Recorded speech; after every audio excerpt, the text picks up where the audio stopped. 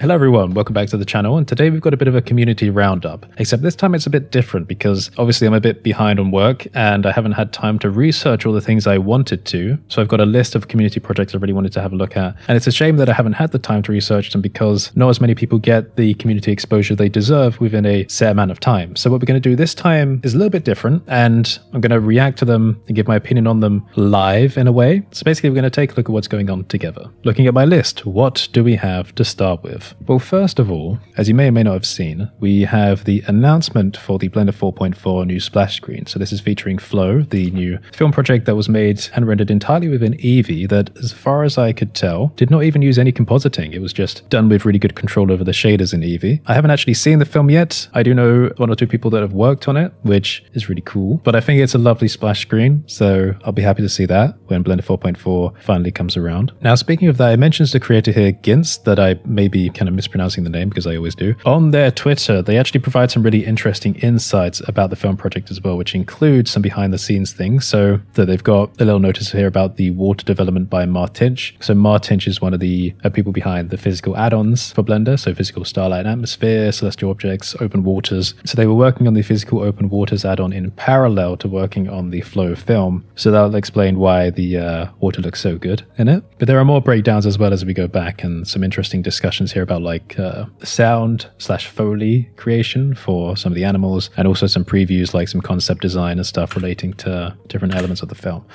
So I've had a quick look at that. Actually, I should probably follow them, so I'll do that while I'm here. Worth taking a look, and I will definitely try to watch Flow as soon as possible.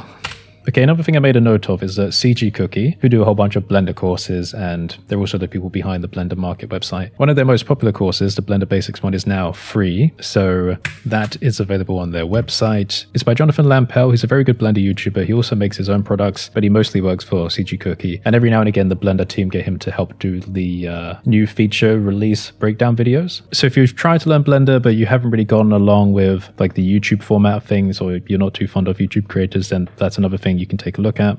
Taking a quick diversion to look at something pretty, my friend Charan also somewhat recently, as in December last year, created a really interesting holographic diffusion or diffraction, sorry, shader in Blender, and it looks really pretty. This one actually reminded me of the old Doctor Who intros. I'm sure that some people know what I mean. But yeah, it's a very pretty effect. I don't know if they've done a breakdown. I should probably ask Charan. If they have, I'll link it somewhere, but if not, you can check out his YouTube channel as well. I always bug him about trying to make more videos, um, but that's something I do for a lot of people. Actually, speaking of that, we need to check in with with Azzy because Azzy slash Kris, my co-creator for the Hexcat product, has been making a few more videos recently, which is great. And the new ones are largely based around the new NPR branch for Blender, which is something we need to talk about because that's going to be a really big improvement for Blender, allowing for all different kinds of stylized rendering, basically big upgrades for stylized animation. But if you want a bit of a head start in that, then these breakdowns are pretty cool. So we got the Blender Iridescent Shader tutorial, Blender Electricity VFX tutorial. The specific video that you need to watch is exploring the new Blender NPR branch because it shows things that even I didn't know because I haven't had a proper look at the NPR branch yet. But it's a cool demonstration of the different passes you can get access to and how you can effectively combine these to make interesting effects. In this case, they'll go through rim lighting, the translucency, so you can get something that looks a bit like subsurf scattering. They even discuss fur rendering and also hue shifting for like color control. So it's a really good introduction actually to the NPR branch and what you can do with it. Notice at the end of the video, they'll end up with this cool effect. So yeah, worth supporting, worth checking out, and Azzy definitely deserves deserves, you know, a larger following than that. And while we're at it, of course, Hex Scatter is available on Gumroad and now Blender Markets. If you want to support the both of us, then it's an excellent tool you should get your hands on. Again, it helps you turn non-seamless texture sources into seamless materials in what I'm pretty sure is the best method available in the community. But we support a full PBR workflow. We use a hexagonal height blending method where we recycle data from the height maps to guide the blending of the cells. It's extremely natural looking, but you can see the previous videos I've done on this subject as well. Now, I also wanted to check in on DemNiko and see what they've been been out to because they do a whole bunch of Blender short film type stuff relating to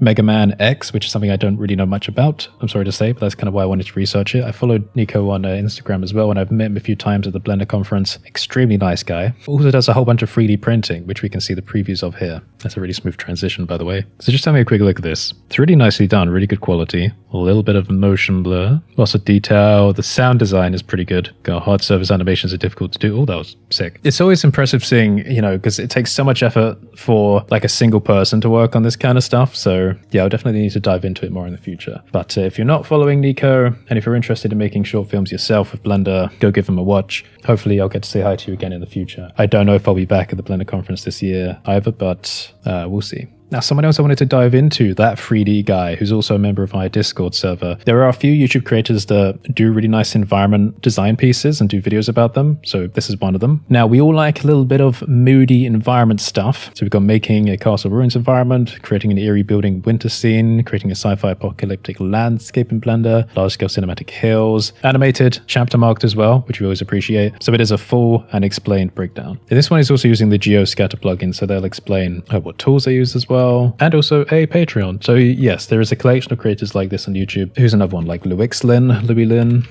I know I've shown more creators that do similar types of content. So if that's something you like, then you can add that 3D guy to your sub feed. This one down here gives me a bit of a Stålenhag vibe. You know, that somber sci fi is how I describe the genre, which is where it has a cozy vibe, but it's also moody at the same time. You know, lots of atmospherics. But yeah, I like it. Let's have a look at who we've got next. What's Gleb been doing? He had a video, a simple trick for eye-catching lighting Blender tutorial. We love Gleb here, also Aidy, so we're big Creative Shrimp fans. They're super nice, by the way, super nice, super creative. And Gleb and I, I think, have something in common. We both love lighting, and we have like different experimental ways about it. We both also love PureRef, which is an amazing reference software. Um, so if you've liked any of my previous lighting content and tutorials, then what are you doing if you're not watching Gleb's as well? So in this one about eye-catching lighting, they talk about dappled light. So this is kind of going a bit hand in hand with um, gobo point light, area light type techniques for interesting conveyance of details on surfaces. It's interesting in this video because they're taking one subject and then showing you different ways you can light with it. So it's basically like a relief or is repousse, repousse, uh, almost. So that's for metalworking. But yeah, basically relief details, which are always like really great demonstration objects for uh, lighting techniques just because the surface complexity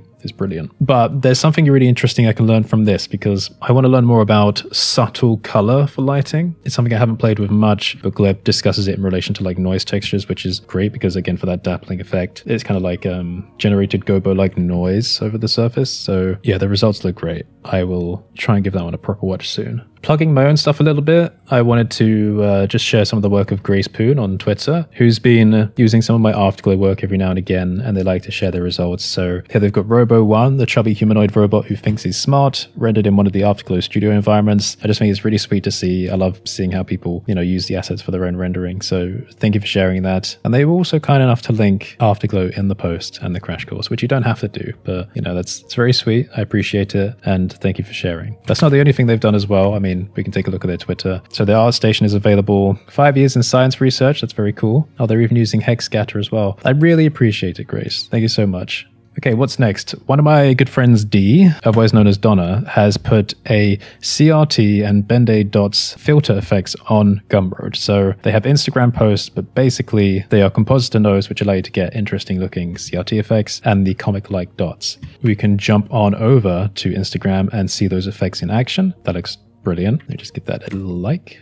And also the CRT effect as well. God, with that bloom, that looks really nice as well. So yeah, these are available for you to download on Gumroad. Please consider supporting as well, because I know that Dee would really, really appreciate it. Now, another thing, I feel a bit bad for missing out on this one. Obviously, I was occupied in January with all the uh, medical subjective dyspnea, mast cell degranulation, investigation type stuff. But Nerdcraft sent me a message talking about a new January focused challenge they wanted to run. Again, I'm a bit late, but maybe next year they'll do it as well. It's something they wanted to do called Blenduary. So it's just, you know, making something every day for January in Blender with a bunch of prompts as well. Obviously, we've got different variations of this. We've got like Node November for November. There's also Sculpt January, I think, at some point. Challenges like these are really cool things to sink your teeth into the software and develop your skills. I mean, I used to do them when I was learning, especially back in 2016. They were really good fun as well because they give you a reason to test your skills and a community to share it with. It was interesting talking just at the start of this one about, you know, the medical stuff in January because here we got Dr. Madness, otherwise known as Vinny. When I had my eye problem going on and I spoke about it on video, Vinny sent me some really nice messages because they are, as you can see, trained optometrists. So we had an interesting discussion about nerve regen, which was really cool. Like, I love how connected we are in the Blender community and just how willing people are to provide help and advice. So,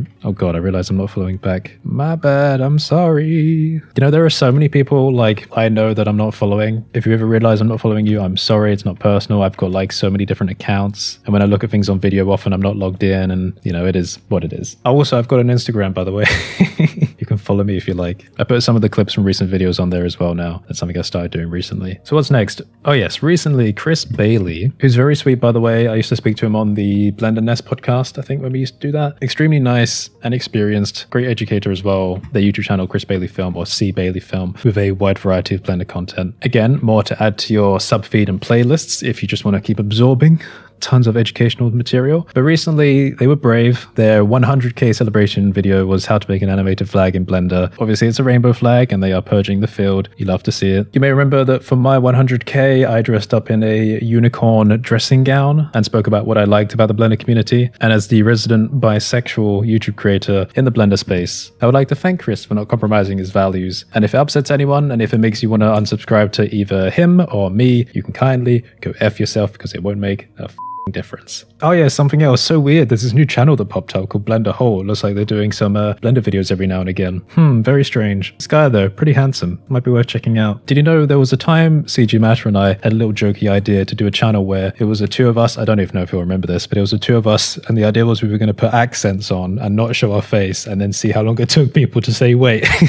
aren't you just these guys putting on really bad accents?" And finally, self plug on my own channel here. I've been doing fun videos where we just do like uh, reference breakdowns. So that would be like improving your ideas with references. We take a look at video games and hunt for inspirations. We'd see if we can admire some of the things that environment artists have been working on and prop artists, things that sometimes go under the radar. It's really fun to walk around these and just like pick out things that I like. These videos are not optimized for views. I had a big revelation a while back and I shared it on second channel, maybe. Working on products is like over 1,000 times more profitable than working on YouTube videos. So at some point, I just said F it and started making things for fun rather than views. So that's what these are. I recommend taking a look. They're more educational and there's more value in them than you would think. So there will be more of them. Stay tuned. All right, I think that'll do it for this roundup. Remember, if you found anything interesting in the Blender community, you can send it to me. Just let me know about it. Although links in YouTube comments are a bit of a weird thing. YouTube likes to hide those comments. Still haven't quite figured out why. I think they detect it as like spam bot behavior. But if you join my Discord or like just tag me in social media, there are lots of places you can get into contact and let me know. If you've made it this far through the video, let's put a oh a cake related emoji. My birthday's coming up. I won't tell you exactly when, but I'll say it soon. So put a cake emoji in the comments. That will show me if you made it this far. If you're on Windows, by the way, little tip. If you're typing something, if you press the Windows key, hold that down and press the period key, it will open an emoji keyboard. It's a little secret for you. So thanks for watching, stay safe, and I'll see you next time.